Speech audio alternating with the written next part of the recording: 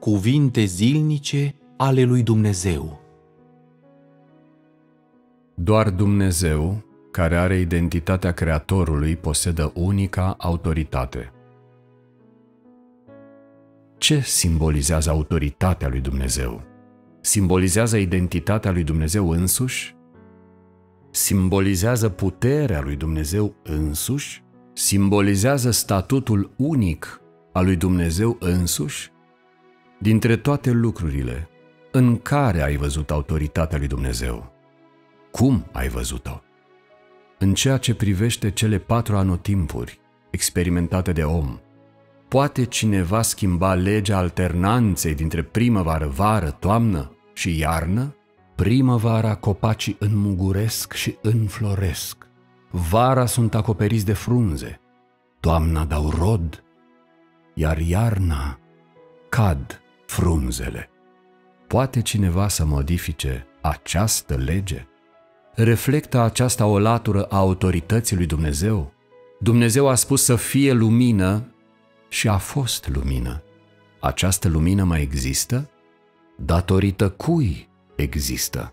Există datorită cuvintelor lui Dumnezeu, bineînțeles, și datorită autorității lui Dumnezeu. Aerul creat de Dumnezeu încă există?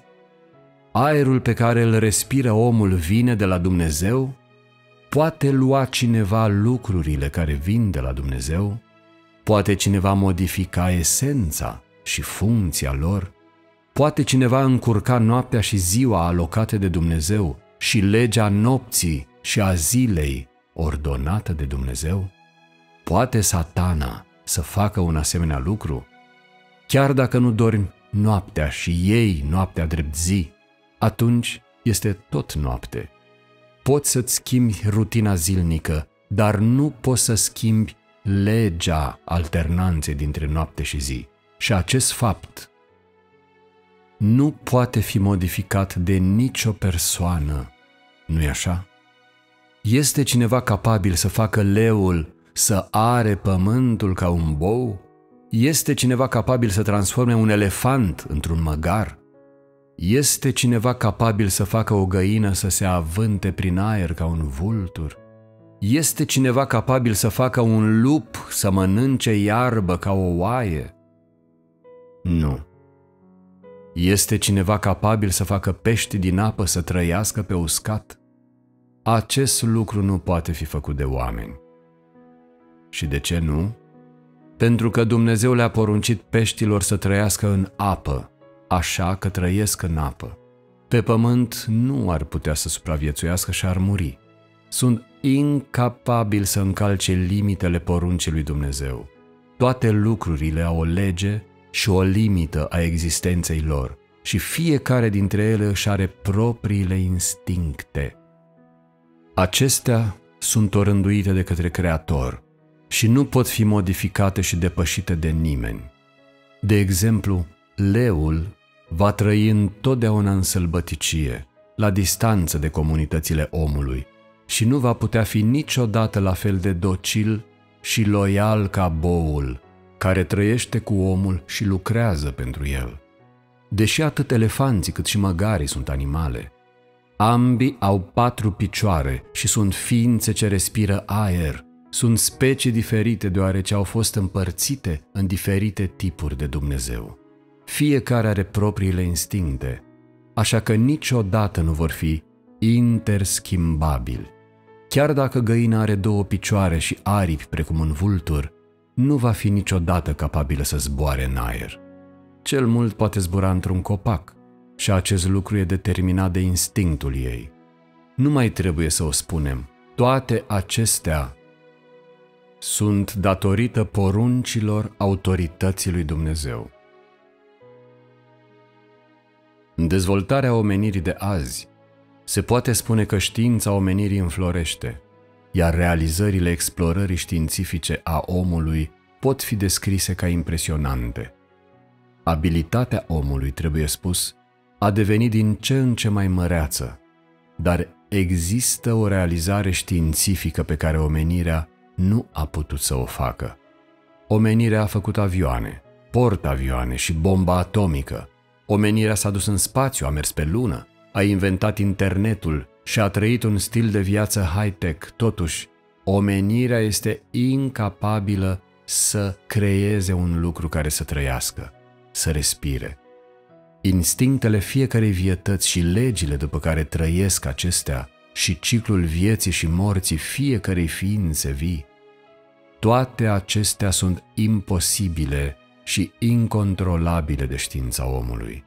În acest moment, trebuie spus că nu contează cât de înalte sunt culmile atinse de știința omului.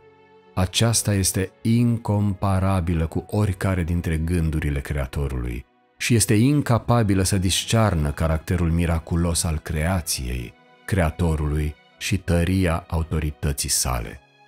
Sunt multe oceane pe pământ.